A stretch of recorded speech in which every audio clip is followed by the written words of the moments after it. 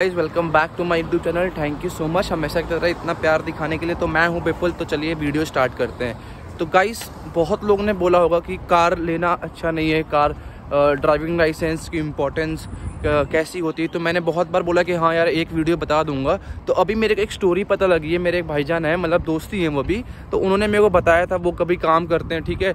तो मैं इस वीडियो में बताने वाला हूँ कि यहाँ पर अगर आपके पास कार होता है, ठीक है? मैं ये नहीं बोलता हूँ कि आप यहाँ पर आते ही कार ले लो, ठीक है? अगर आपके पास बजट है तो वेल एंड गुड बहुत अच्छी है। और अगर आपके पास लाइसेंस मिल जाता है तो ट्रस्ट में कि आपका वो एक पैसिव इनकम टाइप का हो सकता है लाइसेंस। अब मैं एक्सप्लेन करता हूँ कैसे। ठीक है, देखो, मैं मानता हूँ यार, देखो, इंडिया में कुछ कुछ चीज़ें हैं और यूके में भी कुछ कुछ चीज़ें हैं जो हैं, अलग हैं, पर मैं आपको एक चीज़ बताऊँगा जो वीडियो में आपको एक्सप्लेन करेगा, जो आपको समझ में आएगा। अब जैसे मैं मान लो, ठीक है, कि मेरा कभी मन करता है यूके इंडिया में, ठीक है, कि कभी भी मैं पैसे कमा लूँ, कि जाके कभी भी कमा लूँ, कमा सकता हूँ नहीं, पर भाई यहाँ पे यूके में क्या होता है, जैसे मान लो कि आप कोई जॉब कर रहे हो, ठीक है और आपके पास ड्राइविंग लाइसेंस है और आपके पास जैसे जस्ट ईट का ऊबर ईट्स का या कोई भी आपके पास लाइस उनका अप्रूव लाइसेंस है कि हाँ आप डिलीवरी कर सकते हो तो यहाँ पे डिलीवरी ड्राइवर्स की इतनी इंपॉर्टेंस है। या आप कोई कोई शॉप से ठीक है? जैसे मान लो कि आप आ, कोई जॉब कर रहे हो ठीक है? नाइन टू फाइव वाली जॉब कर रहे हो ठीक है? लग रहा है कि यार आप एक्सपेंसेस नहीं निकाल पा रहे हो। Nine to five Monday to Friday आपने जॉब कर दिया अब आपके पास बचा क्या? इन्जॉय तो आप वैसे भी कर लोगे ना अब हर हर सैटरडे संडे तो आप इन्जॉय करोगे नहीं, और रेस्ट भी कितना बंदा करता है। तो मैं आपको एक चीज़ बताता हूँ, जैसे फ्राइडे हो गया सैटरडे हो गया, और संडे हो गया, अगर आपको ड्राइविंग बहुत अच्छे से आती है, और आपके पास ड्राइविंग लाइसेंस है, आपके पास जस्ट ईट है ऊबर ईट्स है, या डिलीवरी है, कोई भी आपके पास लाइसेंस है, या उनके पास अप्रूव्ड वाला है तो आप बैठे बैठे पैसे कम से कम ये है कि अगर मान लो आप चार या पाँच घंटे भी काम करो तो पचास पाउंड से साठ पाउंड कमा लोगे। साठ पाउंड अगर आप कमाते हो तीन दिन का तो सिक्स थ्री जा एटीन वन एटी पाउंड मतलब मान लो वन एटी पाउंड और चार आ, इसी को चार से मल्टीप्लाई करो देख सकते हो आप कि इतने आपके हो जाते हैं ठीक है? तो इतने पाउंड्स अगर आप बैठे बैठे कमा रहे हो किसी के अंडर नहीं है अपने मर्ज़ी से काम कर रहे हो ठीक है? कोई आप पे प्रेशर नहीं है तो इससे अच्छा क्या चाहिए आपको? तो मैंने सोचा कि यार एक इस पर वीडियो बना देता हूँ आपको एक्सप्लेन करने के लिए। तो यही एक वीडियो, यही एक बात करनी थी मेरे को, जैसे कि मान लो कि आप कोई नाइन टू फाइव जॉब कर रहे हो, ठीक है? वो तो आप कर ही रहे हो, बहुत बढ़िया, ठीक है? आपको उससे अट्ठारह सौ, दो हज़ार पाउंड तो आपके बन रहे हैं महीने के। पर आप सोच रहे हो कि हाँ यार, कुछ मेरे को और सेविंग्स करनी चाहिए तो और सेविंग्स करने के लिए आप क्या करोगे? आप कोई और इनकम देखोगे और आप कोई और तरीका देखोगे कि हाँ यार, पैसा मैं कमा सकूँ। तो ये ऑप्शन मुझे इंडिया में नहीं मिलता कि कोई सॉफ्टवेयर सॉफ्टवेयर डेवलपर है या कोई भी कंपनी में, कोई टीसीएस में इन्फोसिस में विप्रो में जो काम कर रहा है, वो उसके साथ डिलीवरी ड्राइवर या और कोई ओला या और कहीं भी काम कर ले।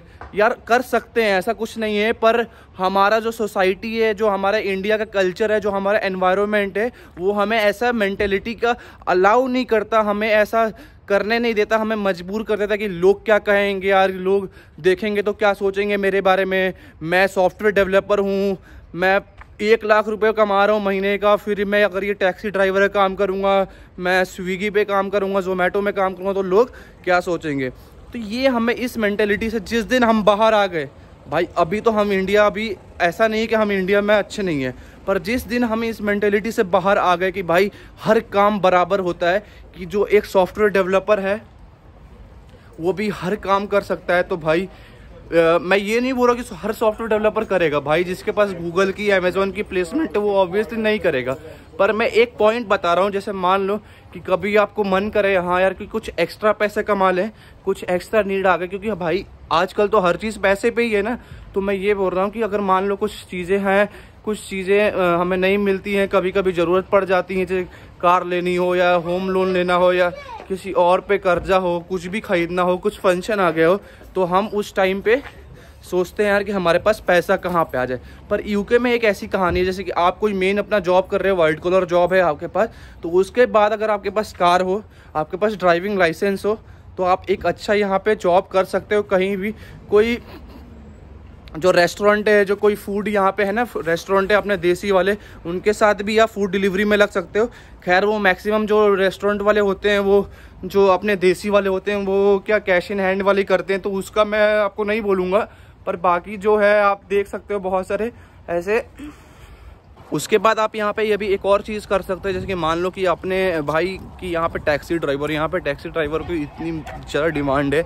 अगर मान लो आप ऊबर हो गया बोल्ट हो गया, आप कोई भी टैक्सी ड्राइवर में अपना सब्सक्रिप्शन ले लेते हो, आप उनसे लाइसेंस उनका भी टेस्ट होता है।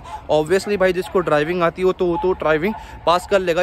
हर कोई नहीं कर पाता, कर, पर कर लेते तो वो भी आराम से आराम से नहीं बोलूँगा बैठे बैठे अपने कार के अंदर, चाहे बारिश हो, चाहे धूप हो, चाहे कितनी भी ठंडी हो बैठे बैठे आराम से दिन का नब्बे से सौ पाउंड कमा लेते हैं। और भाई, एक दिन में आप आराम से अगर दस सौ पाउंड कमा रहे हो तो कौन सी वो है? ठीक है? तो आप इसके, इस चलते आप अपने फाइनेंशियली भी आप ग्रो कर सकते हो फाइनेंशियली भी अपने आप को बैकअप कर सकते हो सपोर्ट कर सकते हो और ऐसे ग्रो कर सकते हो। और यार, मैं कहाँ बोल रहा हूँ कि आप ज़िंदगी भर यूके में रहो, ठीक है? अगर आपके पास जॉब आपको पसंद आता है तो आप रहो, नहीं तो पाँच साल यहाँ पे एक्सपोजर लो, यहाँ पे सीखो, यहाँ पे जो चीज़ है, बहुत लोग करते हैं यार, छोड़ के चले जाते हैं। ठीक है, आपने मैक्सिमम जो बड़े बड़े जो लोग जिन्होंने फाड़ा है अपने इंडिया में आके, जो जितने भी सी हैं वो क्या करते हैं? यूएसए यूके ऑस्ट्रेलिया जहाँ से भी पूरे वर्ल्ड से पढ़ के आते हैं, उसके बाद अपने इंडिया में वो करते हैं, ठीक है? मैं हर किसी को नहीं बोल रहा, मैं एक एग्ज़ाम्पल तौर के आपको एक्सप्लेन कर रहा हूँ। और यही बताना था कि अगर आपके पास ड्राइविंग लाइसेंस होगी यहाँ पे, आपके पास यहाँ पे अपनी कार होगी तो इंश्योरेंस जाएँगे, उसके मैं मानता हूँ, उससे खर्चे होंगे, सौ, डेढ़ सौ पाउंड दो सौ पाउंड भी उसे खर्चे होंगे। पर ये होगा कि आप कभी खाली बैठोगे नहीं, आपको जो मेंटल स्ट्रेस होगी ना, वो कभी नहीं होगी। आप आराम से कभी भी जब आपका मन चाहे, रात को दो बजे उठ आप बहुत लोग सोच रहे होंगे कि यार, मैं डेटा साइंस का स्टूडेंट हूँ, मैं ये हूँ इतनी हायर एजुकेशन करना है। तो भाई, मैं बिल्कुल सपोर्ट नहीं कर रहा कि आप यहाँ पे आकर टैक्सी ड्राइवर या आप फ़ूड डिलीवरी ड्राइवर बन जाओ। मैंने एक यहाँ का सिनेरियो बताया, मैंने यहाँ का एक एक्सपीरियंस बताया। और ये मेरा एक्सपीरियंस नहीं था, ये किसी ब्रदर ने, मेरे दोस्त ने ये एक्सपीरियंस मेरे शेयर किया था तो मैंने सोचा कि इस पर वीडियो बना देते हैं तो आपको अगर अच्छा लगा हो तो आप लाइक कर देना सब्सक्राइब कर देना, और वीडियो मेरे से देख, देखते रहना। मैं ऐसे वीडियोस लेके आते रहता हूँ इनकी के बारे में बताते चाहता हूँ।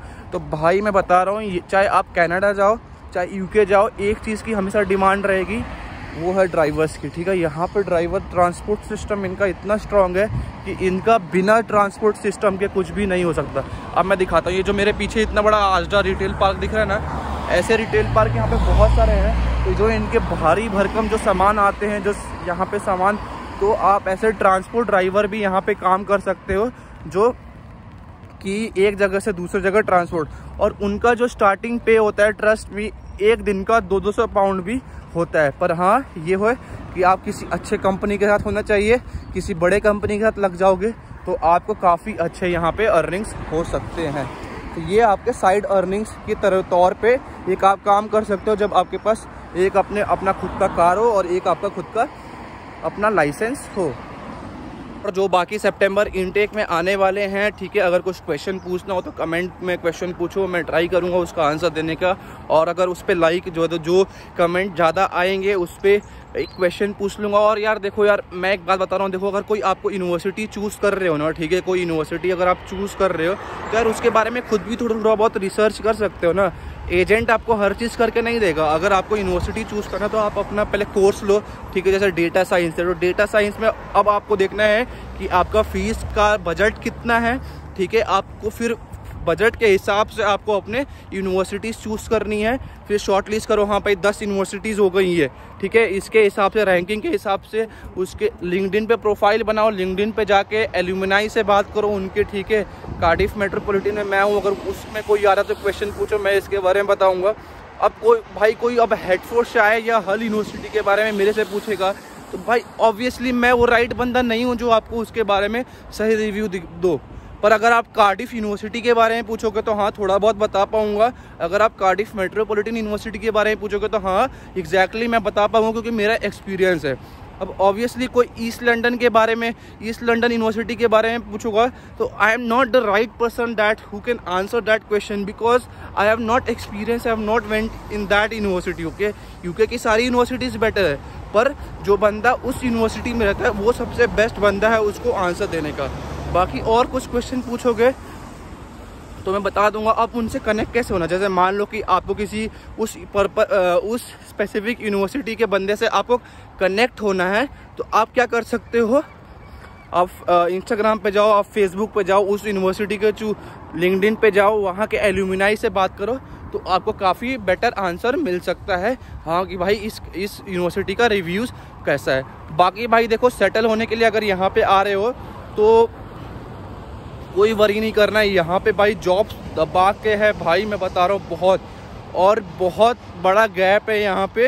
ये गोरे काम करना नहीं चाहते, इनके पास स्किल्स होते नहीं है। होते हैं, पर वैसे नहीं होते। भाई तो मैं बता रहा हूँ, ऐसा कोई डरने की बात नहीं है, ठीक है?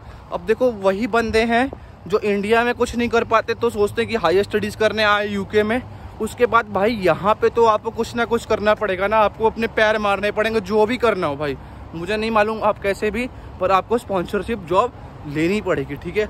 और हर टाइम के बाद कुछ लोग मेरे से पूछते हैं कि भाई पार्ट टाइम जॉब्स क्यों बदलते रहता है?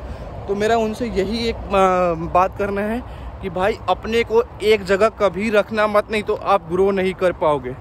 यहाँ पे यूके आए हो तो हर चीज़ में एक्सपीरियंस लेना, हर चीज़ के मज़े लेना तो आपको बहुत कुछ सीखने को मिलेगा। आप बहुत एक मेच्योर बंदे यहाँ से, जो आपको हर चीज़ के मामले में मैं ये नहीं बोल रहा कि चार चीज़ों में पैर मारो, पर है कि भाई हर फ़ील्ड का थोड़ा थोड़ा जानकारी हो तो आप कुछ अपना खुद बड़ा कर सकते हो। आपको पता लग जाएगा हाँ भाई यहाँ पे कुछ ना कुछ लूप होल है, यहाँ पे मैं कुछ बड़ा कर सकता हूँ, कुछ बड़ा फोड़ सकता हूँ। तो चलिए भाई, ये वीडियो बहुत लंबा हो गया और बारिश भी हो रही है तो मेरे को वीडियो बंद करनी पड़ेगी। अगर मेरे वीडियोस पसंद आते हैं तो देखते रहिए, कृपया। और आपसे रिक्वेस्ट है लाइक और सब्सक्राइब ज़रूर कर देना। और बाकी मैं और वीडियोस लेके आते रहूँगा। चलो bye thanks for watching my video bye